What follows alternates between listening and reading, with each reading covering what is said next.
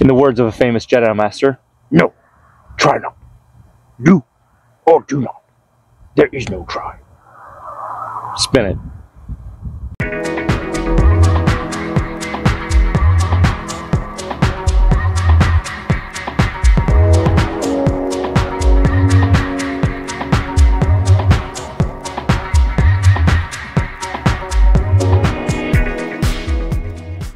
Hey DMD family, welcome back to another Discs MD video. Bunky here, and today we're going to be talking about throwing a disc far, which we all want to do.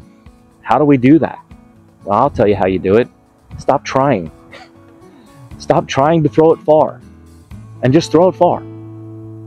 Here's what I mean by that, and I'll speak from experience because I, I'm, I'm not going to impose what I do on you. So I'll tell you from my experience.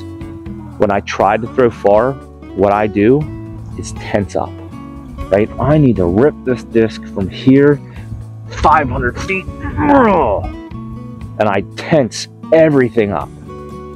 And that completely defeats what I'm trying to do because it takes away from the mechanics of a backhand throw. It causes me to lean forward, it causes me to turn my head, it causes me to lean back causes me to do all these unnatural things in order to get this little 170 gram piece of plastic as far that way, for you right handers, as far that way as we can. But the way to throw far is not trying to throw far. The way to throw far is to have good form. Because this is not a 150 pound boulder that we have to pick up and hurl we don't throw this in the same manner as a heavy object because it's not a heavy object. So, what does it take to throw this far? It takes speed, it takes velocity, right? Speed, velocity, different things. Go look them up. I had to, right? Speed is the time it takes for an object to travel a certain distance. Velocity is the time it takes for an object to change positions, right? So, rotational velocity translates into disk speed. So what does it take to increase my rotational velocity? That's what I have to work on. And I'll tell you what it's not. It's not tensing my upper body as hard as I can to just work the disc. That's not what it is. It's our form. So what is it about disc golf form that allows us to throw or allows pros or allows anybody to throw a disc far? It's the chain reaction that it takes there's a small group of coaches that I listen to now, and it's grown. Uh, and I've interacted with all of them except for one.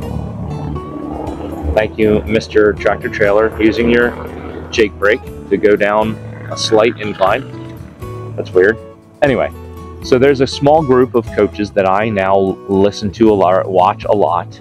Uh, and again, I've interacted with all but one of them because uh, the one I just found out about just started watching him. Um, and I'll link them all down below. You know, I work with Josh from Overthrow, and I've worked with Yanni from Spin Doctor in the past. Uh, I've started talking to Clint over at uh, It's Blitz. I've started talking uh, to, and I cannot remember his first name for the life of me, but Trebuchet, uh, Disc Golf. And now the latest one that I found was Nick Krush Disc Golf. And honestly, if Krush is your last name, good on you. That's an awesome name, Nick Krush, especially for a disc golfer. Um, you will find very good attention to detail over structure and mechanics of good form in disc golf. And it's key to us throwing well because generating rotational velocity or rotational power is a chain reaction that starts with a single point of contact. And I think Yanni talked about this in his, in his most recent video. A single point of contact, which is our front foot. And this goes for every single sport that has a rotational movement.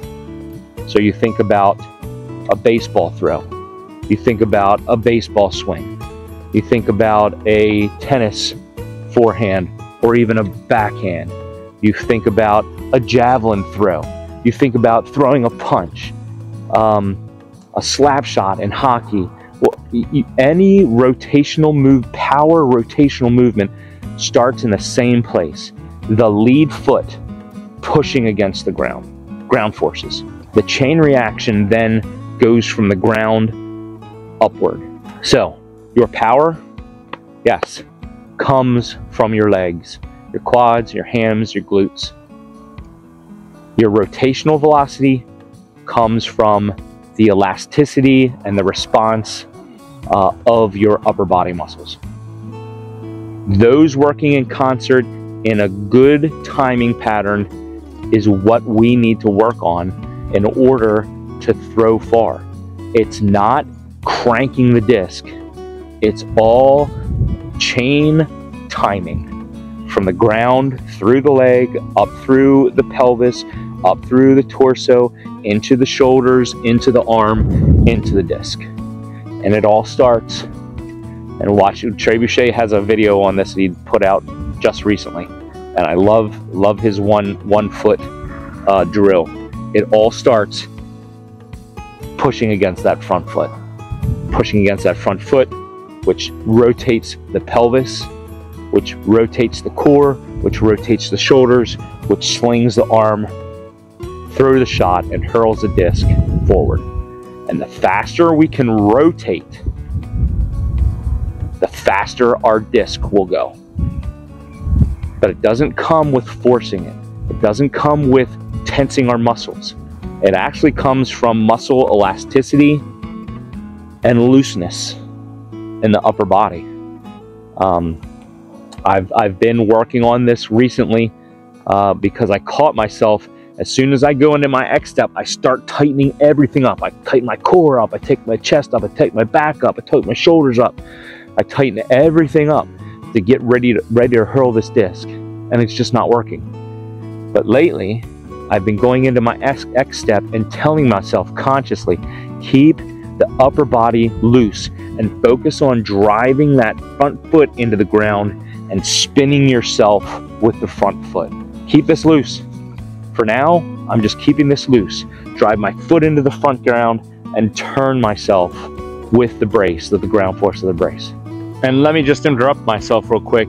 Uh, just a little tip for you to know if you are using your ground force, your brace, as your catalyst for your speed. If after a fieldwork session or a throwing into your net session where you're throwing drives at say 75% or greater.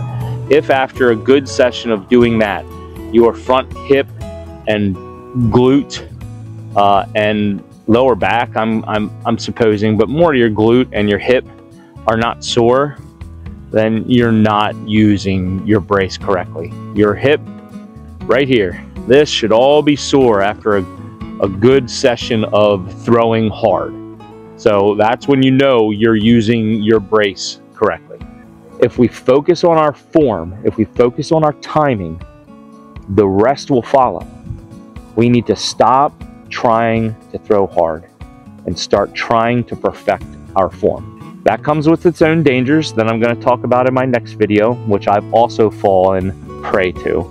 Go to those other guys, and I'll start putting out some videos on this as well um, because I, am working on it, uh, it myself and have found uh, things that I uh, that I'm focusing on that may help you, but that's not this video.